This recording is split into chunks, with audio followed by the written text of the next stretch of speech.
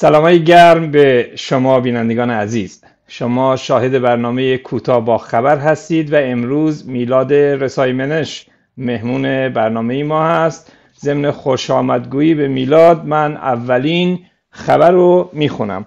معاون وزیر کشور معترضان آبان را عرازل اوباش خواند. سوال اینه که در جواب به این شخص چه باید گفت و چه اقدامی باید کرد؟ بفرمایید. سلام می‌کنم کیوان جان. ممنون که مجدد منو دعوت کردید. همچنین مخاطبین برنامه شما. ببینید صحبت های این فرد رو به حساب چون پس از آزادی تعدادی از خانواده های معترضین آبان ما این صحبت ها انجام شد. من رو خیلی یاد اون آهنگ معروف جان لنن میندازه که بر صورت قهرمان طبقه کارگر خارج چشمی هست در بین کلان سرمایه‌داران و افرادی که در طبقه حاکم دیکتاتور معابانه نسبت به جامعه رفتار می‌کنن. این فرد که به بخشی از حاکمیت اسلامی جنایتکار و سرمایهدار ایران هست قطعا کسانی که معترض هستند قهرمانان طبقه کارگر که میشورند انقلاب می‌کنند اعتراض می‌کنند مبانی فکری ارزشی اینها را زیر سوال می‌برن خب قطعا از منظر ایشون اون افراد ارازل اوباش هستند. نکته سر این هست که اینها انقدر بی ادب و انقدر بی حیا هستند که به خودشون جرأت میدن به مردمی که تحت ستم هستند حقوق اولیه خودشون رو مطالبه می‌کنن. در خیابان اومده بودند که اعتراض بکنن به گرون شدن بنزین به دروغگویی که حکومت کرده به وضع بعد اقتصادی اینها رو به خودشون این اجازه و این وقاحت رو دارند که در رسانه ملی در رسانه رسمی اعلام بکنند که اینها ارازل و اوباش هستند. خیر اینطور نیست. ارازل و اوباش خود حاکمیت جمهوری اسلامی هست که چهل سال خون مردم رو در شیشه کرده. مردم ایران امروز به نظر من در پاسخ به سوال شما که چه واکنشی می‌تونن نشون بدن در فضای اینترنت در کلاب هاوس در اینستاگرام جواب این افراد رو باید بدن و دادن. شما نگاه بکنید به پست ها و به هر صورت کامنت هایی که زیر این خبر اومده مردم نوک پیکان و نوک حمله رو به سمت خود این افراد نشانه بردن. گفتن اونی که ارازل اوباش هست اونی که کلاندوست هست اونی که جنایتکار هست خود بله. شما مفتخوران اسلامی هستید. نه مردم شریفی که برای حق و حقوق خودشون در آبان ماه به خیابان ها اومدن و به جمهوری اسلامی اعتراض کردن. بله و خبر دوم مراجعه بیش از 32 هزار بیمار کرونایی به مراکز درمانی تهران در یک شبان روز. سوال اینه که چرا در ایران کرونا افسار پاره کرده؟ به قول سران حکومت دست اجانب و استکبار جهانی در کاره. مردم چطور از خود و زندگی خود محافظت کنند و از این اوضاع عبور کنند؟ درسته. بحث بحث کرونا و پاندمی که در جهان هست یک بحران جهانی هست. همه کشورها به درجات با این مسئله دست به گریبان هستند منتها حاکمیت جمهوری اسلامی که اساسا دولتی به اون شکل در ایران وجود نداره دغدغه‌ای برای پرسوت مماش و حفظ عمر حفظ جون مردم در بین حکام جمهوری اسلامی وجود نداره. این بحران رو در ایران به یک معزل و به یک وضعیت بسیار اسفناک غیر انسانی و خطرناک تبدیل کرده. حکومت جمهوری اسلامی سیاست های بسیار غلط و اساسا بی سیاستی رو توی این بحث دو سال گذشته نسبت به بیماری پاندمی داشته. از بیکفایتی دولت حسن روحانی که تمام تمرکزش بستن قراردادهای بین‌المللی و برجام هست و به نوعی در رابطه با کرونا یک بیعملی ما از جانب دولت می‌بینیم. تا خود خامنه ای که میاد ویروس واکسن خریدن رو ممنوع می‌کنه همه اینها دست به دست هم میده که به هر بحران کرونا تبدیل به یک فاجعه انسانی در ایران بشه. این نکته رو اجازه بدید بگم. به هر چون در چند روز گذشته یکی دو هفته گذشته نوروز رو ما در ایران داشتیم و عده‌ای از مردم به به هر صورت دید و بازدید رفتن خیلی رسانه های جمهوری اسلامی از جمله اصلاح طلبا سعی کردن تقصیر رو طبق روال همیشه که این اصلا دیسکورس و گفتمانشون مقصر دانستن مردم هست تقصیر رو برای موج چهارم کرونا در ایران بنازن گردن مردم. یعنی تیتر عنوان مثلا روزنامه ایران که وابسته است به نوعی به دولت در چند روز گذشته. همین بود که موج چهارم کرونا کشتار و در, در اثر کرونا سوقات نوروز امسال.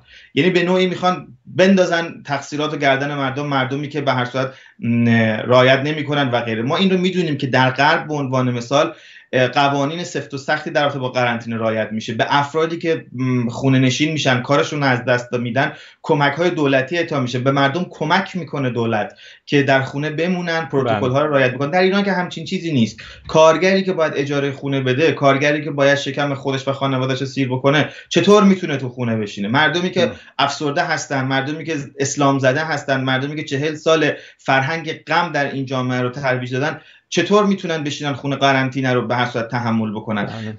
پیشنهاد ما همیشه این بوده که مردم رعایت بکنن خودشون قطعا با توجه به اینکه حکومتی در ایران در کار نیست که بخواد دل بسوزونه برای مردم نکته اما این هست که این وسط حکومت بسیار بسیار رفتار بد و غلطی داشته و مسبب اصلی موج چهارم کرونا در ایران بله. هیچ کسی نیست به غیر حکومت جمهوری اسلامی بله و موضوع سوم واکنش رسانه حوزه علمیه قوم به کلیپ ورزش در مسجد. این حرکت ناشایست است. خانواده شهدا ناراحت شدند. سوال اینه که موضوع اولا چیه؟ رقص و حرکات موزون موزون تو هم با رقص در مسجد. اسلام چرا به این روز افتاده؟ بفرمایید. اسلامی که به حسب حکومت جمهوری اسلامی مشخصا نمایندگیش می‌کنه به صورت یک مذهب ضد شادی ضد موسیقی ضد زن و زندگی هست به تعبیر من. اصلا جای تعجب نداره. اینها از روزی که به قدرت رسیدن اصلا موسیقی رو حرام اعلام کردن. با موزیسین ها یادمون هست که در دهه 60 چه رفتارهایی می‌کردن ساز میشکوندن خوانندگی زن رو ممنوع کرده بودن و غیره.